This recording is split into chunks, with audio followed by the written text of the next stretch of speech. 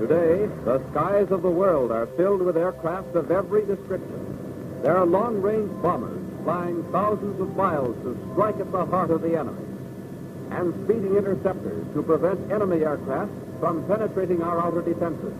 There are tremendous transports carrying vital supplies to our allies and our own fighting men. Fast fighters to take out enemy interference during the battles for air supremacy. And there are the eyes of the ground units, the rapid reconnaissance aircraft. No matter what type aircraft it is, each one is the most modern available, designed to do its job better than any other airplane. But in order to get top-notch performance out of these airplanes, the pilot must know the condition of each operating part. Give him this information. There are instruments, handily grouped on panel boards in front of him. Each dial gives a bit of information that is vital to flight performance and safety. To a good pilot who knows his instruments, these bits of information all add up to a complete picture of what goes on. Regardless of the number installed, there is not one in excess, and not one that the pilot would willingly do without. For every engine, there are gauges to report such things as the manifold pressure, the number of revolutions per minute, and the cylinder head temperature. During flight, these instruments are always on the alert to warn of impending trouble. Number two's running hot. Better crack those cowl flaps. And when a movable part, such as a cooler flap, is adjusted, there usually is an indicator which shows its position. There are additional engine instruments to judge such important things as the fuel pressure, the oil pressure,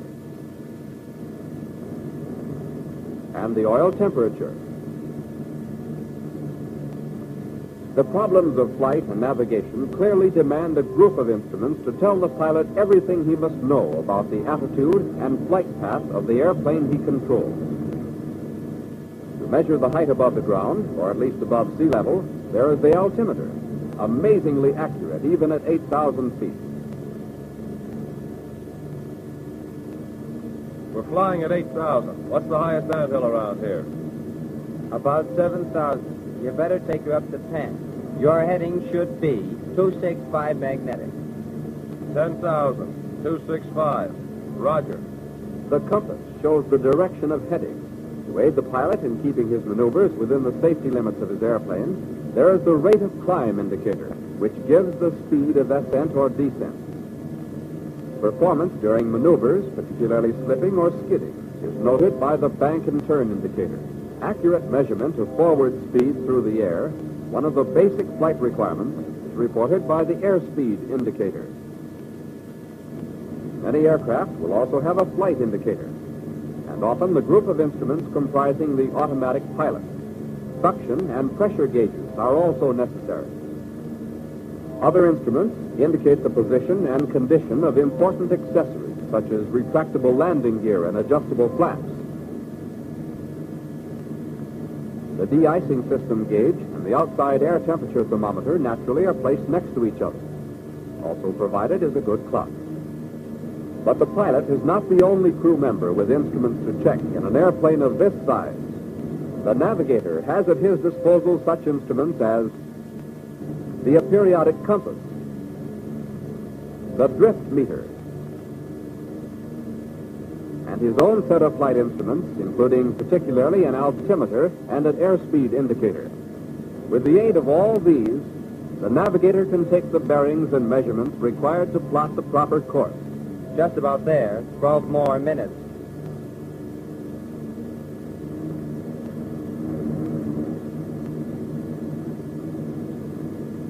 Say, Mac, you're ready to lay your eggs. We'll be over in about 12 minutes at 10,000. Airspeed, 260. I'm all set. The accuracy of the airspeed indicator and the altimeter is particularly important to bombing. These instruments for the bombardier,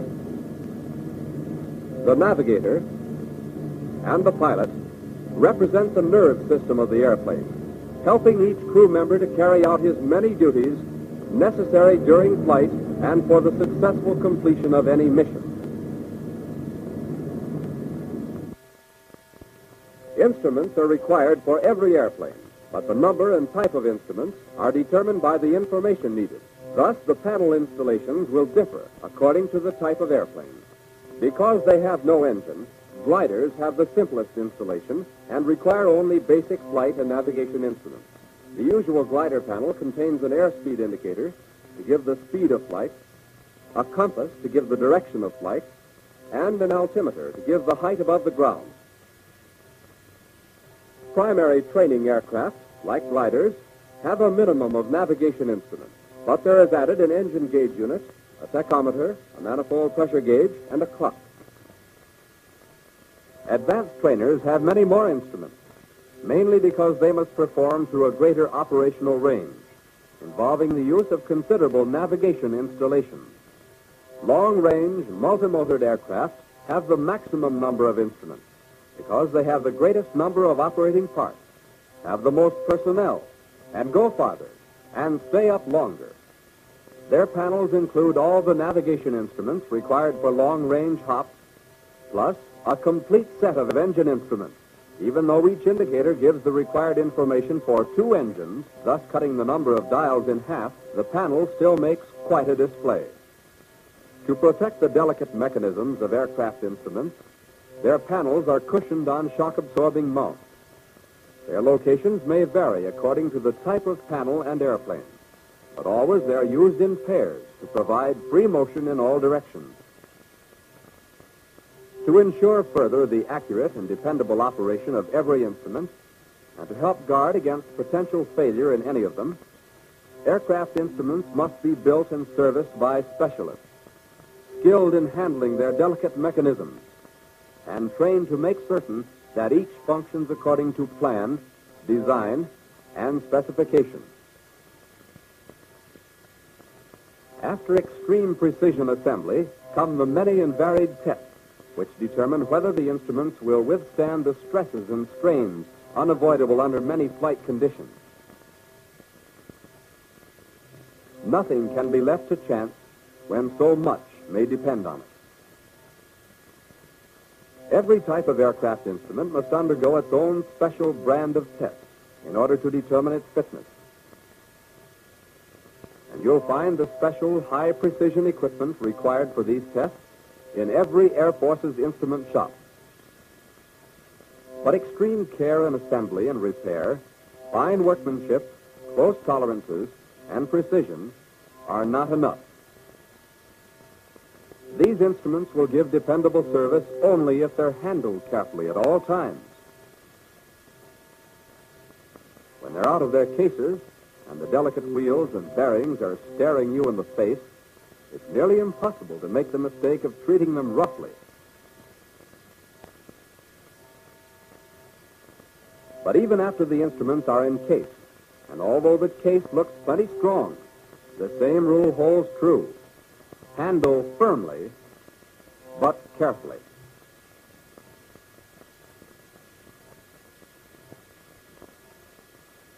After a rigid final inspection covering both operation and appearance, the instrument must be approved by the inspector.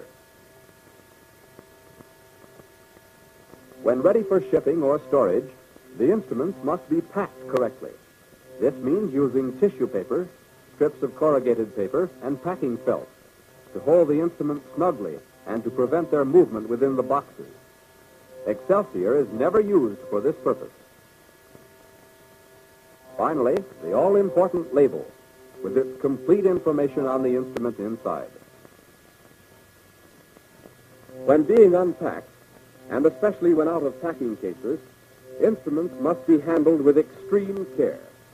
Always place them down gently on workbenches or on any hard surface. Aircraft instruments, with a few special exceptions, are built to fit into one of two standard size cases. The smaller case is one and seven eighths inches in diameter. The larger case is two and three quarter inches in diameter.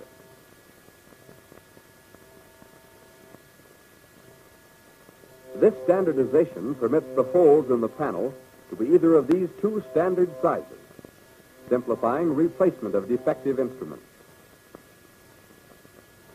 This also makes more trouble-free the redesigning of an entire panel layout, just so long as these two standard size holes are provided.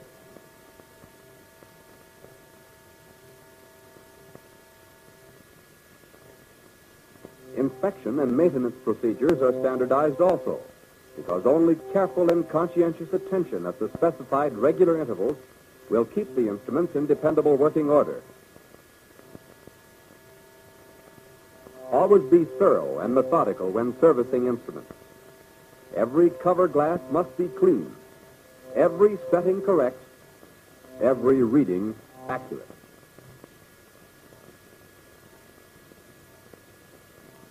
Make sure you do the job right. Remember always that much may depend on the instruments you inspected or serviced and approved for use.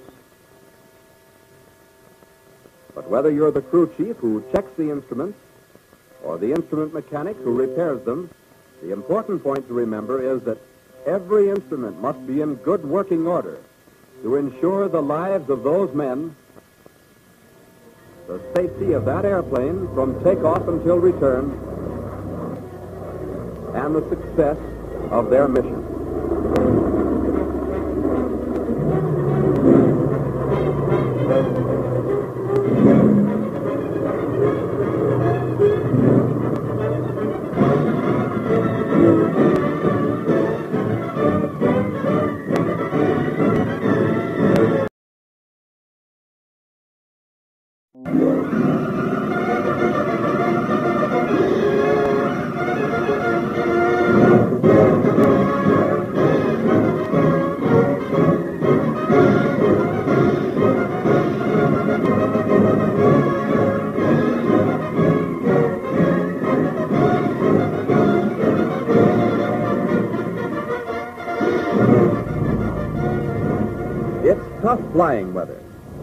No problem to the man behind the controls of this airplane. He has instruments to guide him on his way, and he knows he can depend on them, fair weather or foul. For behind this dependability of instruments are the painstaking inspections of many conscientious workers. It is the responsibility of the crew chief to make certain that each installed instrument performs properly. He is charged with inspecting all instruments daily, before flight, and at prescribed regular intervals.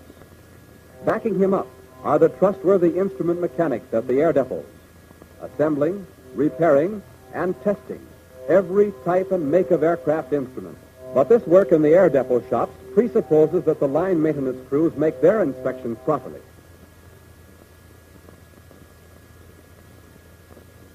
Daily inspections include a few simple points. Use a soft, lintless cloth to wipe every cover glass. All glass and optical equipment must be kept spotlessly clean. While servicing the cover glasses, make certain that they fit tightly and are not cracked. Of course, absolute pressure-operated instruments, like the manifold pressure gauge, and other instruments, like a thermometer, should show the proper local pressure and temperature. All instruments which are lighted individually must be inspected visually to determine whether the bulb lights. Remember also to check all caging knobs for freedom of movement and correct operation. Setting knobs, too, must be operated and the correct setting made. Before each flight, after the engine is started, the instruments are given a pre-flight inspection. Even with the engine idling, no pointer should show excessive oscillation. Each instrument must indicate a reading known to be normal and correct. An abnormal reading is a sure sign of trouble, either in the engine or in the instrument. And both engine and instruments must be right for a safe and successful flight. And when the motor is revved up, the pointer should hold fairly steadily at the readings consistent with engine requirements and speed.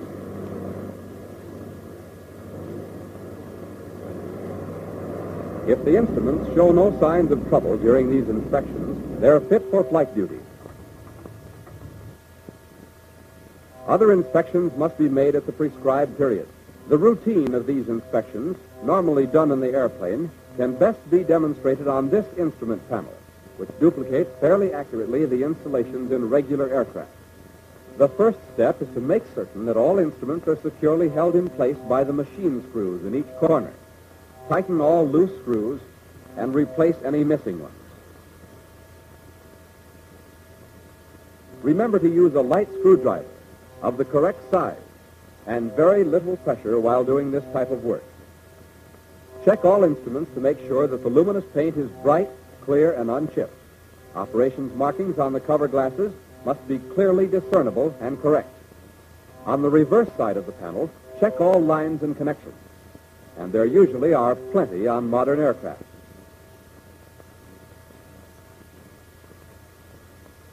If a loose connection is found, it should be tightened securely using an end wrench or a crescent wrench.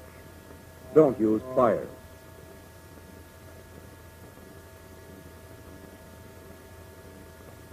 All electrical connections should make good contact and fit tightly.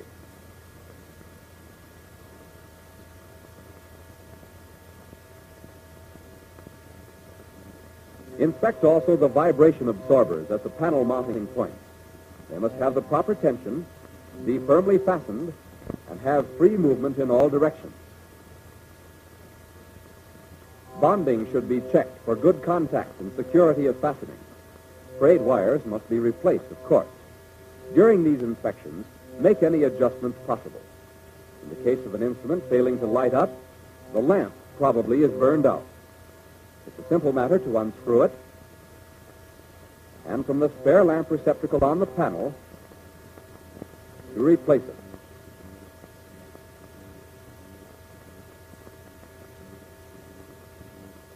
If the new lamp fails to light, check the electrical connection on the back of the instrument.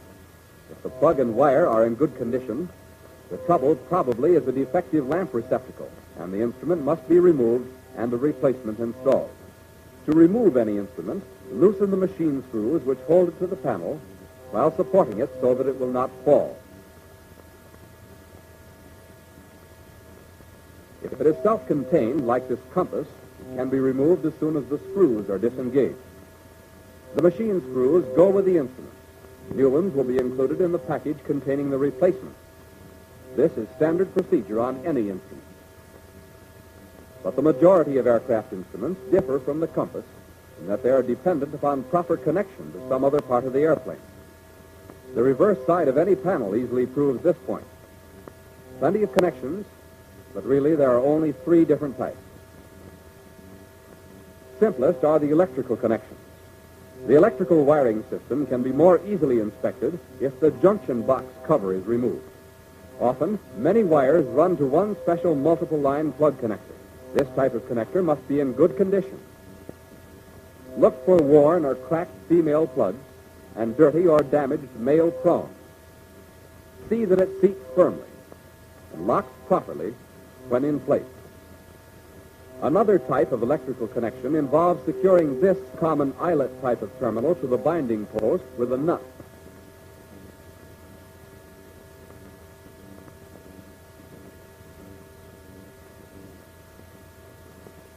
These must always be kept tight. During periodic inspections, it is wise to see that each of these connections is properly fastened. Loose terminal connections are a common source of trouble that must not be overlooked. Another type of instrument connection, such as on this chronometric tachometer, involves the principle of mechanical linkage. This connection is screwed on the drive shaft takeoff on the bottom of the instrument. This type presents few maintenance problems, other than requiring regular inspection for wear and occasional oiling. Most common is the type of connection which involves tubing, since most instruments react because of vacuum and air or hydraulic pressure.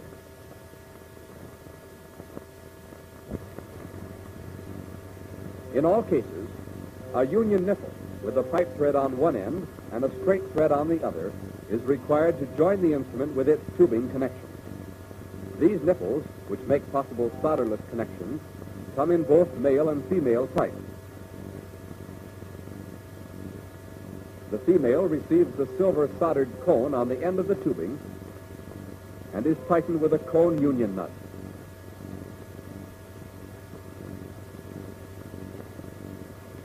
The male must be inserted in the flared silver soldered cone provided for this type of connection. Regardless of the type, the pipe thread always goes into the instrument, while the straight and coarser thread connects to the tubing. On all threaded connections, use specification instrument thread compound. The union nipple can then be screwed into the instrument and tightened firmly with the usual gentle pressure and the aid of a small wrench.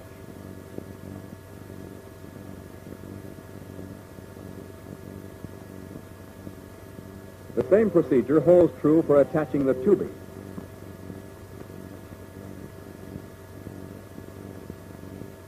Turn the cone union nut until it's tight. Then use the wrench to draw it up just a bit more.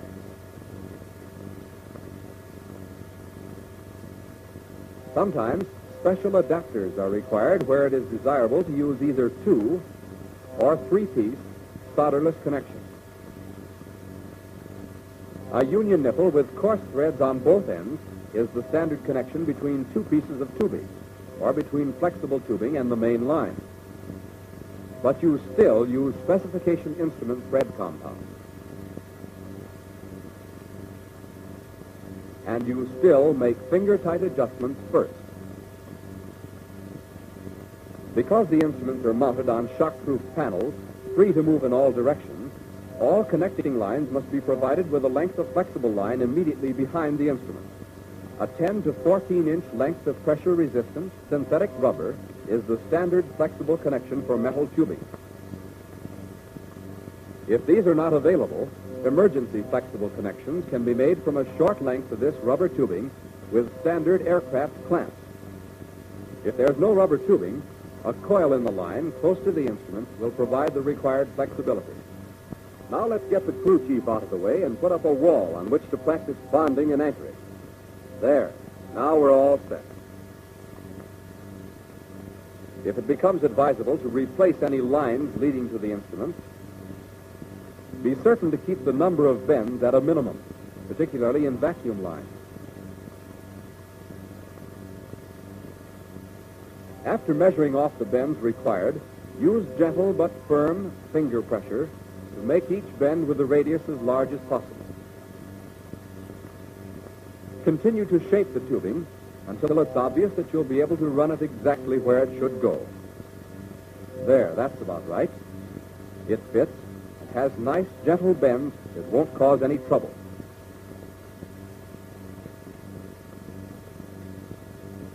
The lines must be anchored securely, and each point of anchorage must be bonded properly.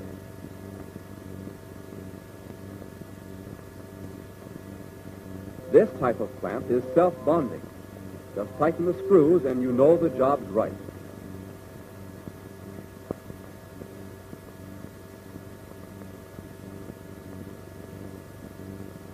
The line should be anchored at not less than 18-inch intervals. The 18-inch or more length between anchor points provides the necessary flexibility. So much for connection.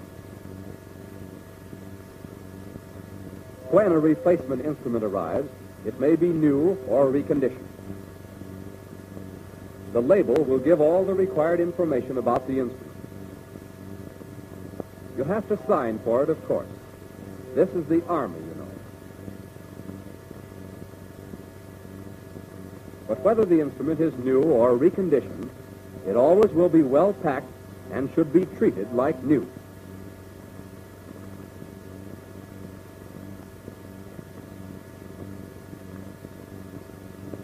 Unwrap it carefully and save the wrapping. Unless otherwise directed, the replacement must be a duplicate of the original installation. See what we mean? Twins. Except that one works and the other doesn't. Take the one that doesn't and wrap it up. But treat it gently, because it still can be repaired at the air depot instrument shop, unless it gets badly damaged during shipment due to faulty packing.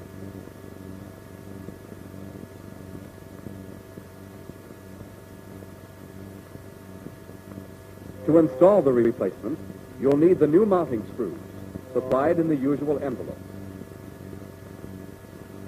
Actual installation is simply a matter of fitting the instrument in place and tightening down the screws. Replacement of an instrument is ordered for any of the following reasons. A defective lamp receptacle, as demonstrated in the case of this compass. Dull or discolored luminous markings. Repainting dials and pointers is amazingly cheap, particularly when compared with the cost of replacing an airplane and a pilot. A cracked case is an obvious source of trouble because dust and moisture may get inside to harm the delicate instrument mechanism, which then requires a complete overhaul.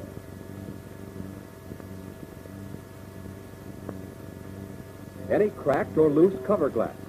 Do not attempt to make this repair yourself. Not as simple as changing a window pane. A broken or cracked mounting lug. This can be detected easily, since the machine screw won't even stay in place when the lug is in this condition. A defective setting or caging mechanism.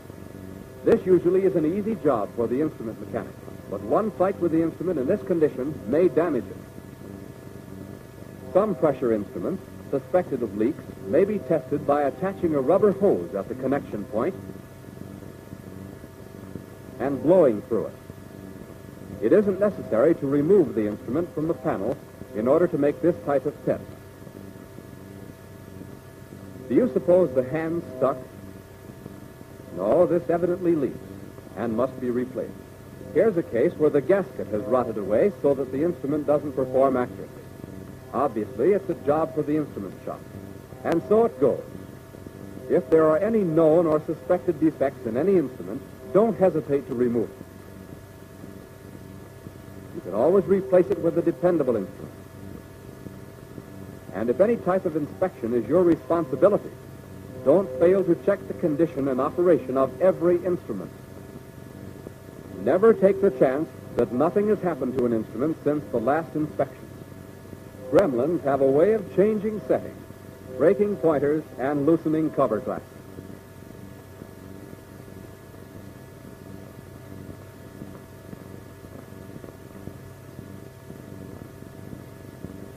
And if it's a pre-flight you're doing, remember that one of the reasons you run up the engine is to check the instrument, and with the instrument, to check the motor. When you're certain that each instrument will operate correctly and dependably, then you're ready to reach for that flight report. And sign your name to guarantee that the instruments are okay.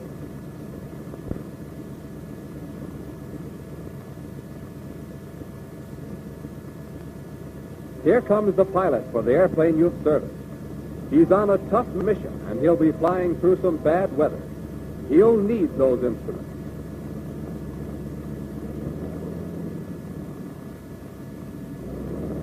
Remember that when you help him into his chute. And remember, it's your good workmanship that will bring your pilot and airplane safely back.